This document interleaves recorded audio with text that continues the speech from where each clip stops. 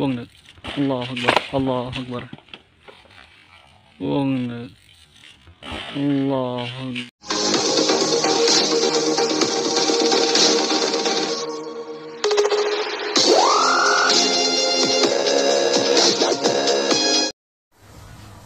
Kalau ini versiku ya, versiku.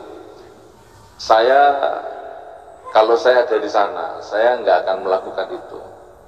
Seandainya niatnya memang memerangi apa kemusyrikan kesirikan itu nggak begitu caranya. Oke, jadi gini, secara syariat memang itu nggak boleh ya hukum, hukumnya haram secara syariat.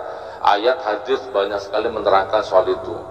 Ya, eh, salah satunya pokoknya berbau sesajen meminta tolong kepada Allah berdoa beribadah menyembah kepada Allah dengan cara apa ya? Dengan cara yang tidak diatur di, di- dengan cara yang tidak ada dalam syariat seperti sesajen itu.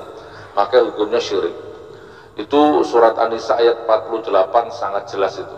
Surat An-Nisa ayat 48 dibaca saudara kalau dicek. Allah tidak mengampuni dosa